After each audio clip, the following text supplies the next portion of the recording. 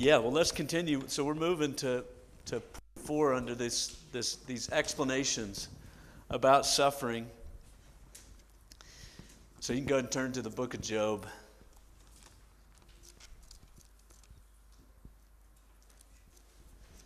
I think perhaps no form of suffering is harder to understand than innocent suffering, not in the sense that someone's sinless, but in the sense that God's not repaying them at all for anything they've done. Because God doesn't repay us, never treats us, and deals with us according to our sins, is what the scripture says. And um, I think I think the best way to describe uh, the word I like is fellowship here, and um, or communion would be a way to tackle this. I think it'll make more sense when we once we get going. But I think it, you know, to me, it's overlooked, misunderstood. Um, in cases of innocent suffering, we we're not suffering because of personal growth or, or personal sin or growth or even merely the brokenness of this world. I mean, sure, we might grow through it. We suffer in order to grow in fellowship and communion with God in a deeper, more powerful way. I think this is the focus of Job and is vital for suffering well. You have this quote by Eric Ortlund again. he wrote two books on, a lot of it's on Job. He wrote a book called, Do y'all know like Ray Ortlund? Do you know that name? Okay, Ray, and you probably know Dane Ortlund, maybe. So Eric is his son, um, also his son, and he's in England. Uh, he wrote a book called uh, Suffering Well and Wisely that I quoted a lot yesterday. I'll quote a couple times. He wrote a book in that, in that gray uh, biblical theology series by Dr. Carson. You know which one I'm talking about? With, um, uh, well, Slave of Christ is one of the ones that I love in that book by uh, Murray Harris. Neither Riches or Poverty by uh, Craig Blomberg. Different people. G.K. Beale's written a couple things in there. He wrote a book called Piercing Leviathan, which is a basically it's, all of it is on the second speech of God to Job, um, where where God talks about Behemoth and Leviathan. It's a very very provoking book, and so we'll get into some of that, but so that's why I went back and read Suffering Well and Wisely, which is a little bit more of like a book you would hand out in church, because the other one is pretty dense. But all right, so it says the book of Job is not, not very well understood in our context. Having taught and preached the book of Job in both academic pastoral settings for more than a decade, my sense is that most Christians are mostly or entirely unfamiliar with this book to my mind, this is tragic. How many can relate to that? I mean, interact with people that just seem very unfamiliar with the book of Job. Yeah, I think absolutely. I feel like even my own life took a long time. I mean, I was raised in the church, but feel like I had to learn so much along the way. And to my mind, this is tragic because Job's story is extremely common. I've lost count of how many people have approached me after I've taught or preached part of the book and told me they know someone whose life reflects Job's story, or that their own does. Even more poignant, which is just kind of significant, I guess, uh, is the mingled surprise and clarity that these Christians express as the book of Job helps them understand their predicament. I've also been told more times than I can count about the help that other Christians offer modern day Jobs, which usually only deepens their bewilderment and pain. And uh, parenthetically, we resemble Job's friends more than we realize. How many read the book of Job and was like amening Job's friends? I remember the first time I read it. Like, hey, wait, these guys aren't helpful, actually. you know, uh, God does not wait for, now this is a sobering sentence. God does not wait for us to have a perfect understanding of the Old Testament's most difficult book before leading us into a time of pain and loss similar to Job's. Christians need to be wise about this book if we are going to suffer well. I'm sure you can relate to that as well. Um, so, you guys have covered the book of Job, but we're going to break it out in kind of four major bullets. Job is a sincere believer but suffers inexplicably. So, right at the beginning, and we'll read it to set the context uh, Job 1, very old book. I think a lot of people say this is the oldest book in the, in the canon. There was a man in the land of Uz whose name was Job, and that man was blameless and upright, one who feared God and turned away from evil. There were born to him seven sons and three daughters. He possessed 7,000 sheep, 3,000 camels, 500 yoke of oxen, 500 female donkeys, and very many servants, so that this man was the greatest of all the people of the East. His sons used to go and hold a feast in the house of each one on his day. And they would send and invite their three sisters to eat and drink with them. And when the days of the feast had run their course, Job would send and consecrate them. He would rise early in the morning, offer burnt sac- sacrifices according to the number of them all. For Job said, It may be that my, sin, my children have sinned and cursed God in their hearts. Thus Job did continually. Later in verse 8, if you just hop down briefly, in verse 8, says there was the Lord says there was none like him in all the earth, a blameless and upright man. Verse 2 3 says a similar statement. There was none like him in all the earth, a blameless and upright man, a man who fears God and turns away from evil. And so you, you get this picture, obviously, a very prosperous man, but most importantly, a righteous man. And, you know, uh, oftentimes we think about righteous, and this is old hat for you guys, so I won't belabor it, but when our church hears righteous, they think uh, perfect. You know, they think of it more in like a justification sense. Righteous, righteous in the way it's used in the book of Job, it just means a sincere believer. It's not talking about a perfect believer. It's talking about one who lives sincerely, one who confesses his sins, turns from the Lord, and lives sincerely. And that's what you see in Job. You know, you see him fearing God, turning away from evil. He's blameless in the sense that um, nothing can be reasonably lodged against his character. He's even, I mean, I think the picture with his kids, you know. It may be that they sin, so he offers sacrifices for them. So he's not just obeying the law, as I think Deuteronomy commands us uh, again and again. He's going beyond mere obedience to the law uh, and showing exceptional character. So, an exceptional man.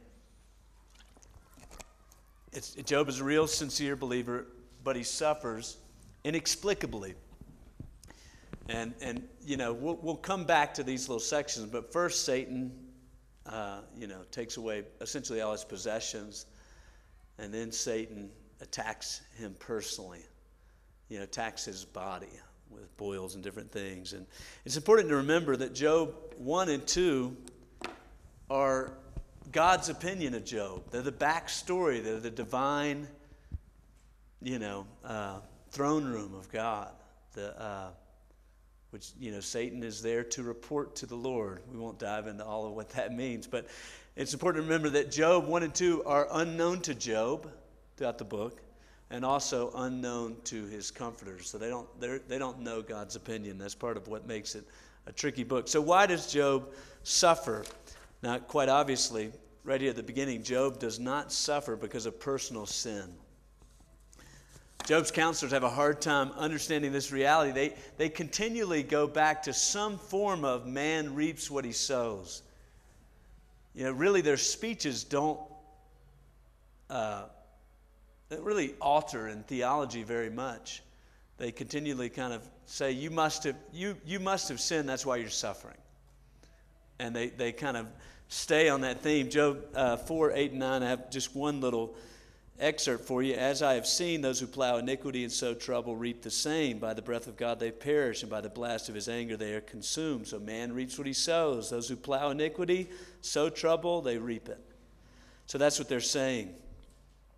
Uh, Christopher Ash calls this. Did, did, when Josh went through that, did he talk a lot about Christopher Ash, or that was a long time ago? More Eric Ortlund. I think this is very helpful. Chris Ash calls this their system of theology. Do y'all have that right there? It's from his commentary. Um, well, it's from his, his other book, but Christopher Ash, he, he said essentially their system of theology breaks down into five points. One, this is Job's uh, counselors God is absolutely in control. Two, God is absolutely just and fair. Three, therefore, God always punishes wickedness and blesses righteousness. For if he were ever to do otherwise, he must necessarily be unjust. Right? That's why they can't imagine that anything else is going on but that Job sinned in some way. Three or four, therefore, if I suffer, I must have sinned and am being punished justly for my sin. So God's absolutely in control, God's absolutely just and fair, therefore he always punishes wickedness, blesses righteousness. For if I suffer, I must have sinned and am being punished justly for my sin. Five, even though they don't hit this category, presumably if I'm blessed, I must have been good, although this isn't relevant here, so I don't develop this side of it. I think that's helpful because it, it seems right, and, it, and we'll talk more about the kind of the legal frame that comes. But the most important thing right now is that Job does not suffer because he sinned. Uh, secondly, Job does not suffer because of the loving discipline of God. Job's counselors also assume God, Job's suffering is the loving discipline of God. Job 5:17, behold, blessed is the one whom God repute, reproves. Therefore despise not the discipline of the Almighty. What's that sound like? What what blessed is the one God's, God reproves. D- therefore despise not. What's that sound like? What? Yeah, Hebrews and Proverbs 3 you know, don't be weary at the discipline of the Lord. I mean, it's right there. But Christopher Ash helpfully says Job's sufferings are not the loving discipline of God. Job is not a morally upright man who has embraced ideas above his station, above his status. Job is a believer. Job is in the right before God ultimately by faith in Christ who was to come, as was Abraham, his patriarch. So he's help. Christopher Ash is slowly helping us see what's going on. So he's not suffering because of personal, personal sin, but nor is it merely the loving discipline of God, as if God is trying to purposely work things out of his life. The reality is, Job suffers because he is a sincere believer. That's what we learned from chapter 1. Let's go back there and just look from 6 to 12. It says, Now there was a day when the sons of God came to present themselves before the Lord, and Satan also came among them. And the Lord said to Satan, From where have you come? Satan answered, from, answered the Lord and said, From going to and fro on the earth, and from walking up and down it. The Lord said to Satan, Have you considered my servant Job? that there's none like him in all the earth, a blameless and upright man who fears God and turns away from evil. Satan answered the Lord and said, Does Job fear God for no reason? Have you not put a hedge around him and his house and all that he has on, on every side? You have blessed the work of his hands, and his possessions have increased in the land. But stretch out your hand, touch all that he has, and he'll curse you. And the Lord said to Satan, Behold, all that he has is in your hand. Only against him do not stretch out your hand. So Satan went out from the presence of the Lord. So essentially, Satan says, Job trusts you because you bless him. Like Job is a hired man, he's a mercenary.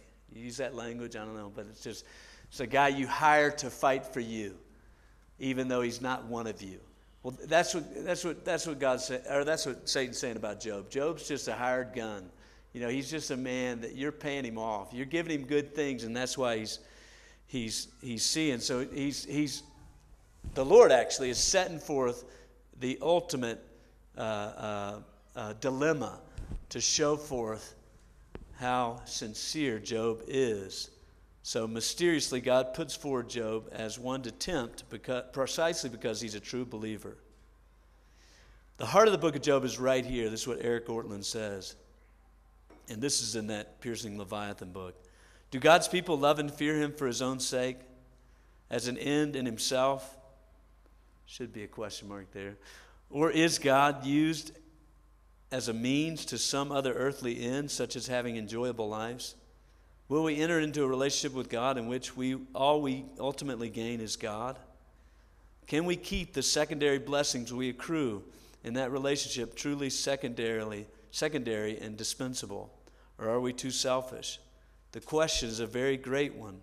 For relationship with God, for God's sake only, is surely the only kind of relationship that will save us. So it's, it's a most important thing going on. Uh, God is going to display in the life of Job to show that Job worships God only for God.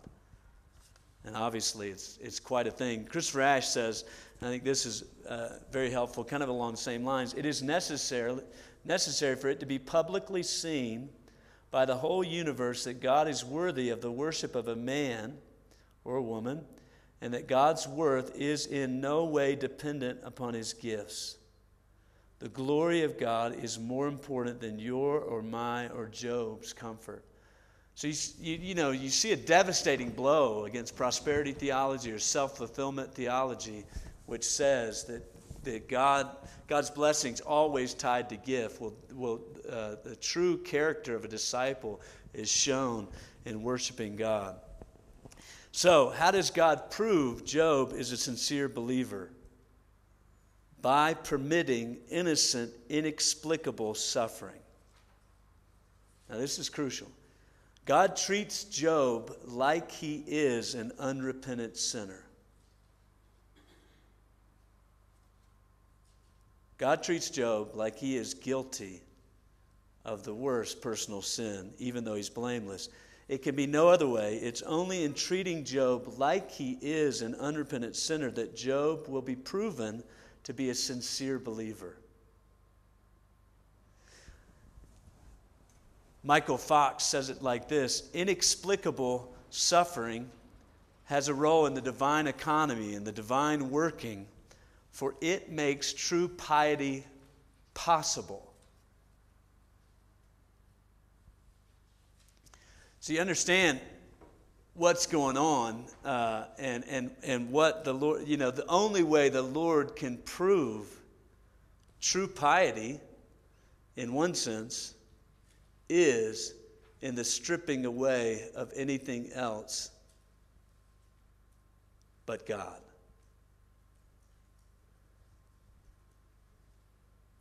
And so, and I think it goes back to that Christopher Ash quote it must be seen publicly by the whole universe God's worthy of worship, and his worth is, no, is in no way dependent upon his gifts. And so, inexplicable suffering has a role because it makes true piety possible. Does that make sense? So that God can be worshiped for his glory alone.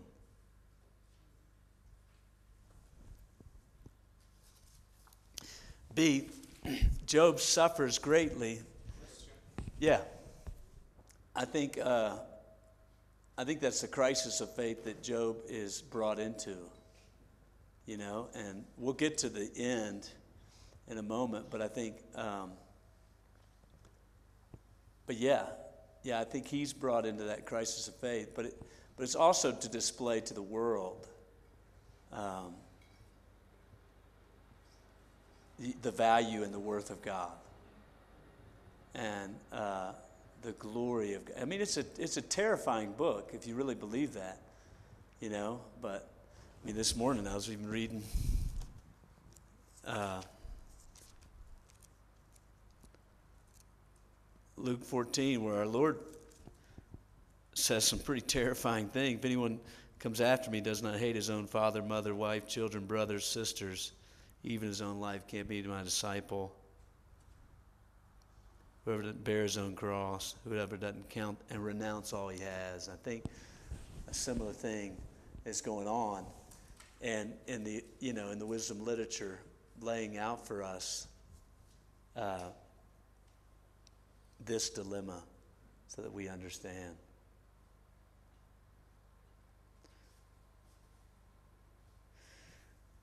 because i do think I mean, I haven't like pushed it, but I do think similar to that Keller quote yesterday, where things going all right when I was waiting on your hand and foot. which is a, really a, one of those questions the Lord shouts at you in suffering. There's no doubt.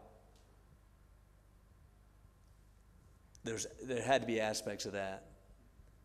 I think the main issue, though, was the crisis for Job was being fearful that um, that uh,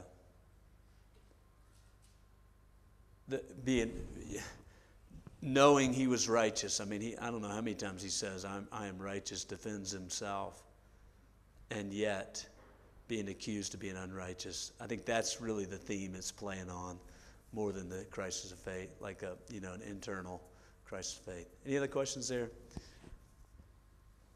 Uh, we'll keep marching. Uh, so, B, Job suffers greatly and continues to be a sincere believer. I think um, you guys know this. Job loses his property and his children.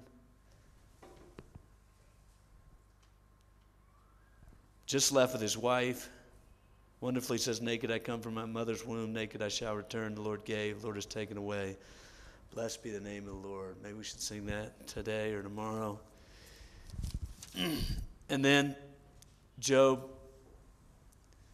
loses his health, you know, and there, I think, you know, once you take everything away, the only way to hurt us even more is health. And you guys all know when you start to, afflictions that afflict your body afflict you in a unique way. And so uh, it's the most distressing thing. So much of the rest of the book is Job wrestling with the meaning of his suffering. And it's not pretty. It's not a pretty book, you know, it's not clean and tidy. Job wishes he had never been born multiple times. Job wishes he could die.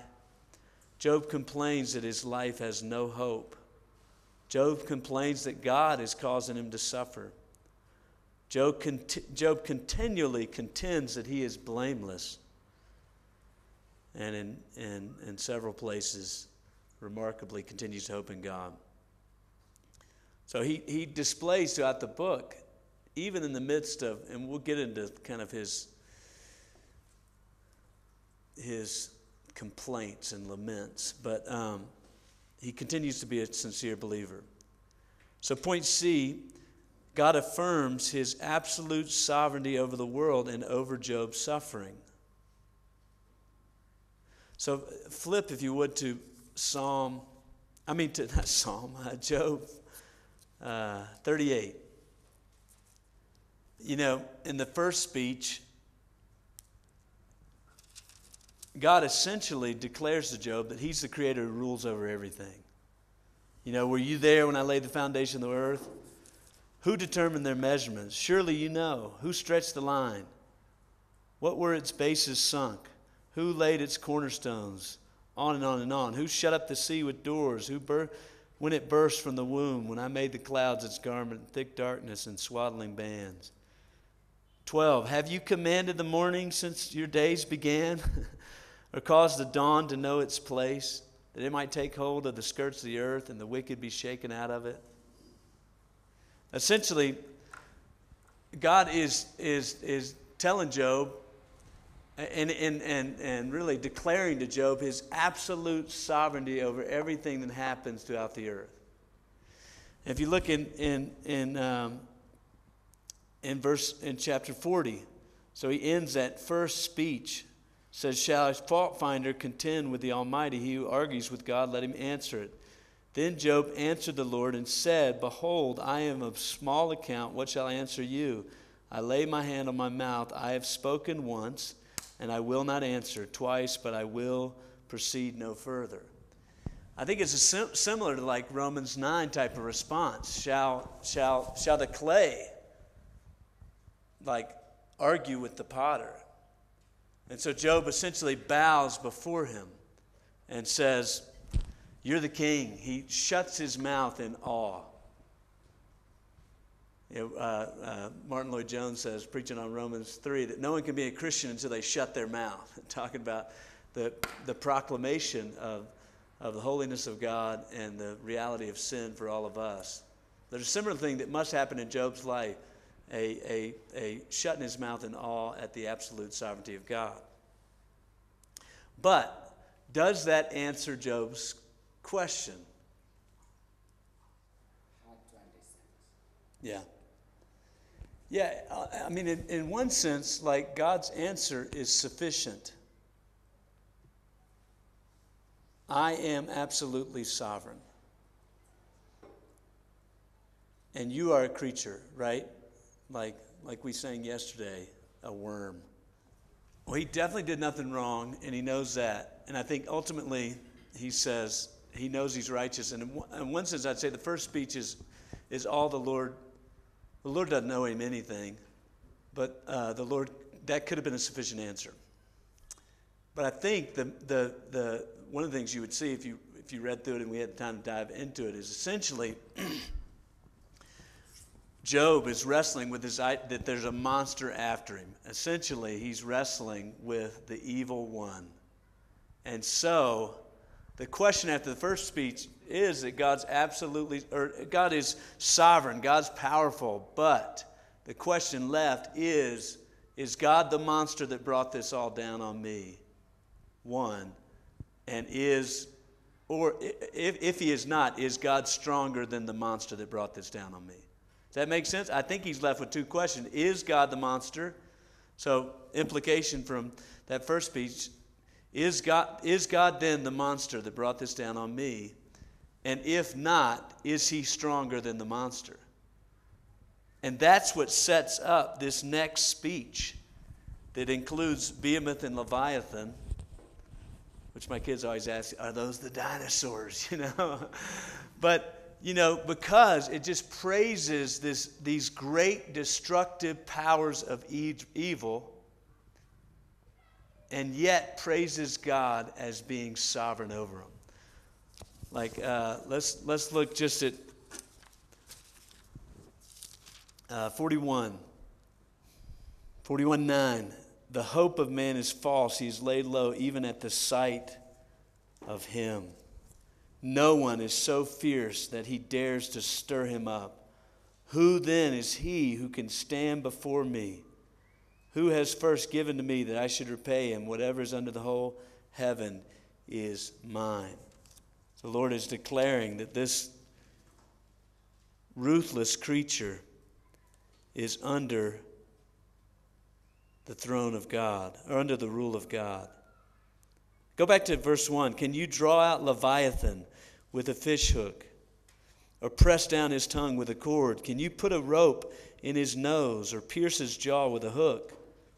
Will he make many pleas to you? Will he speak to you soft words? Will he make a covenant with you and to take him for your servant forever? Will you play with him as with a bird? Will you put him on a leash for your girls? Will traders, traders bargain over him?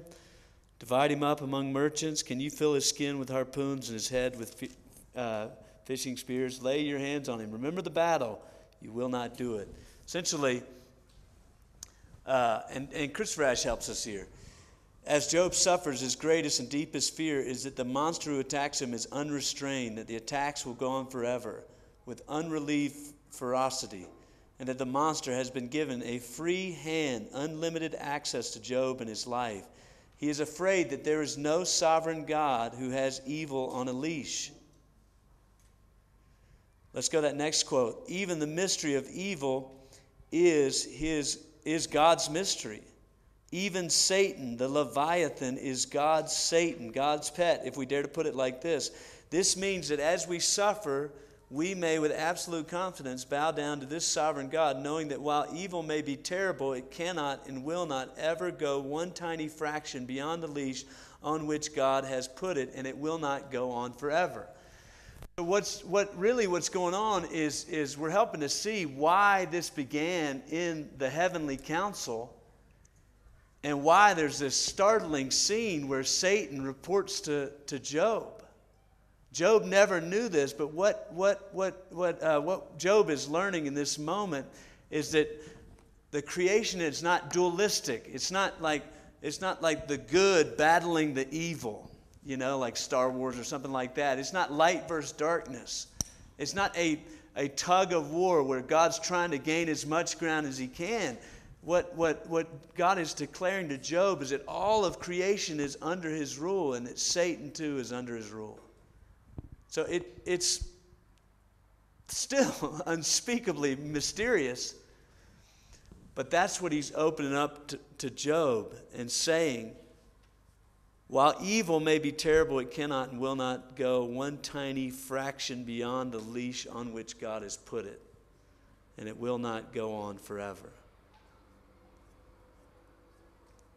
I'm sure we'll have some questions as we keep going, but the needed response to this suffering is to cling to God and do not curse Him. All Job gains, Eric Ortlund says, from his suffering is God and more of God. He continues, We learn from Job that sometimes God allows us to suffer not because he's angry, not in order for us to, to cause us to grow into deeper Christ likeness, but only as a means of giving himself to us more deeply. He is, in fact, about the business of saving our souls and fitting us for eternity in doing so. For a relationship with God in which God is loved for his own sake and not as a means to some other end is the only kind of relationship that will save us. The book of Job also teaches us that God's require this is I think vital.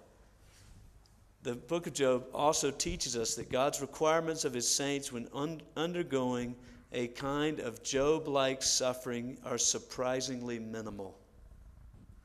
Like Job, all we have to do is hold on to our relationship with God and not curse Him.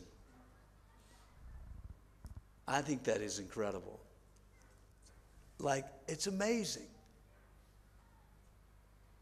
And so I think when you get people in these inexplicable suffering that can't be traced back, really to hold out before him, before them all you need to do is hold on to God. Don't curse Him. It doesn't mean like all the other, you know, we talked yesterday about the, the other explanations for suffering aren't, these aren't mutually uh, exclusive. You know, there's going to be overlaps in our lives, but it does help us understand how to help. It definitely doesn't answer all the questions. but it definitely helps us put our put people's lives back together and put our put much of the scriptures together too. I think what what I think this like creating a category for fellowship and communion as an explanation for suffering helps us put our Bible together. You know, briefly, like I think it it captures, a, uh, it helps us put into a category what some songs of lament are like Psalm 113, how, or Psalm 13, how long, O Lord? You know, at uh, 42, like you referenced singing last week, um, uh, as a deer pants for water, so my soul pants for you. 55, which is devastating, essentially talking about being betrayed, much like our Lord was betrayed, and uh, betrayed by a close friend, and and yet it it it talks about. Um, Somebody crying out to the Lord. I think same thing's going on in Habakkuk.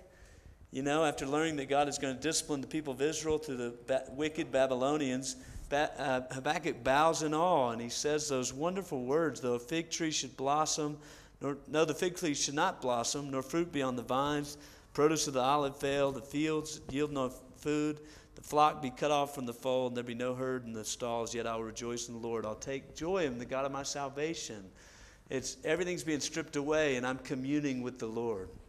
Uh, flip with me to Mark 5. This is one of the most provoking stories. I just keep going back to it in my head. I think illustrates this well. You guys know this story the, the healing of the um, disease ravaged woman while, the, while Jesus is walking up um, uh, to, to go, to go um, raised Lazarus or Jairus' daughter from the dead. And, and so here's this woman who's been, you know, uh, suffering for 12 years. You know, it's carefully outlined in the passage. The, uh, Jairus' daughter is 12 years old. This woman's been suffering for 12 years. You know, she's facing a problem that she can't handle. She's gone to all these different doctors and different things and, and, uh, and has found no solution. But she, she comes up behind the Lord, and we'll just uh, uh, read this briefly. Look at verse 27. So, right above that, it talks about all that she had spent. She's no better and far worse. She heard reports about Jesus. That's amazing. Came up from behind him in the crowd, touched his garment, for he said, If I, if, or she said, if, I guess she said in her head, if I touch even his garments, I'll be made well. And immediately the flow of blood dried up, and she felt in her body that she was healed of her disease. On the one hand, you would think, like, miracle over, let's get going on to Jairus' house so he can heal Jairus' daughter. But I think what the Lord does in response presses home what this communion thing is all, this fellowship is all about. Jesus perceiving in himself that power had gone out from him, which is amazing to think, like, what in the world? What did he perceive? Immediately turned about in the crowd and said, Who touched my garments? You know, and the disciples are like, You're crazy. You know, it's an absurd question. How could you know there's crowds all around you? Disciples are thinking, Who didn't touch your garments? You know, there's people everywhere. But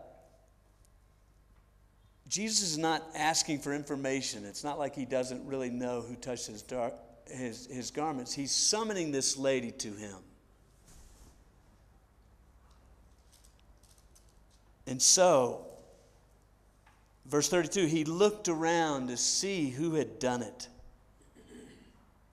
But the woman, knowing what had happened to her, came in fear and trembling and fell down before him and told him the whole truth.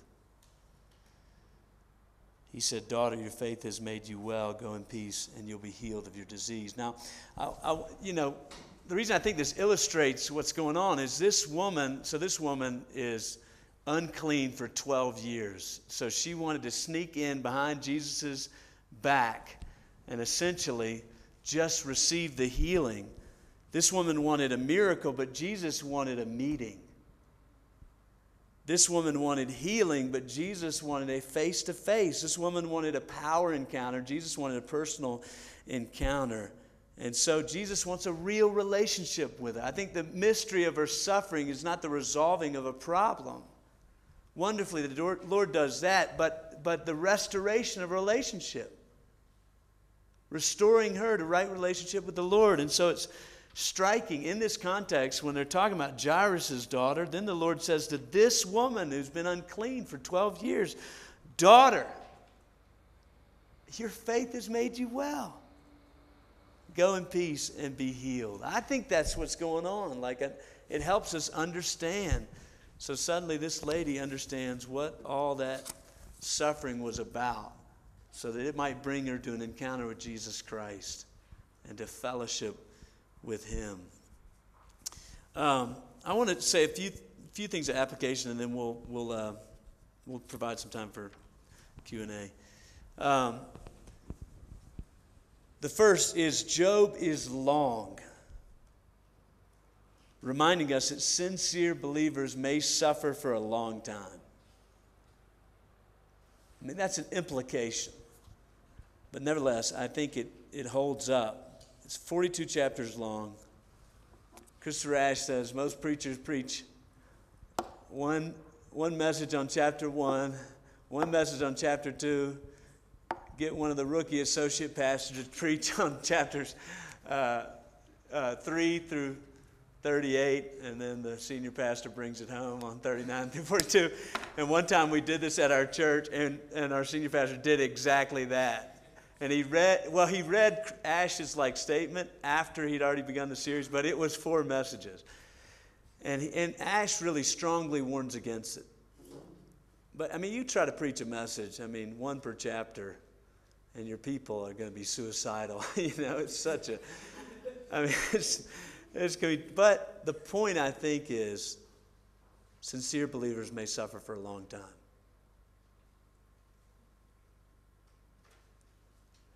And brothers, we have to, sisters too, we have to have this in our in our tool bag. You know, we have to have this in our understanding. It's utter folly to think that suffering can be changed with a few thoughts.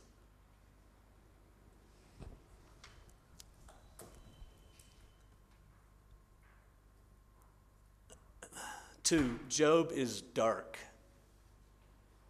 reminding us that sincere believers may become very discouraged in suffering. Christopher Ash says a real believer can go through utter despair and desperation. A blame, blameless believer who has not fallen into sin might go through utter dereliction. The, the, the, the feeling that they have been completely forsaken by God, and yet at the end be judged a real believer.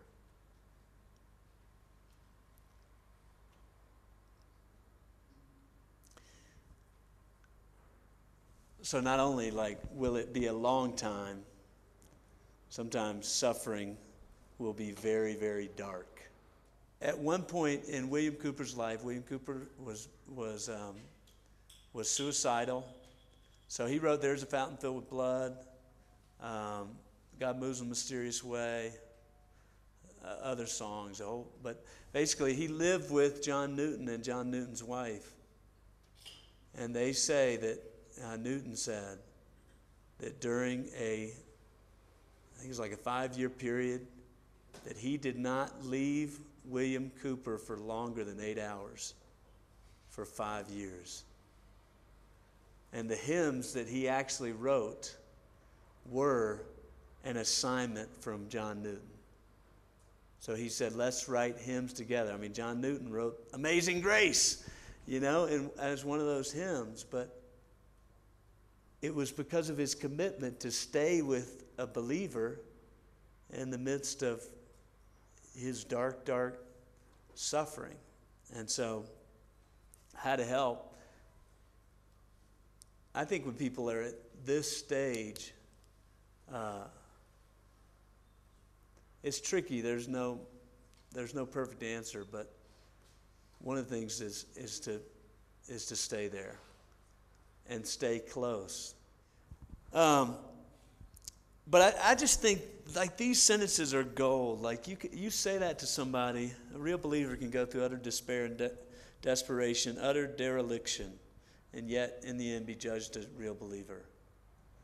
Um, and we don't know, you know. And so I think in so many ways, like we need to step back. Don't don't put our grid on this. Well, you're not acting like a believer right now, you know, or whatever. Like get that stuff out because it won't help.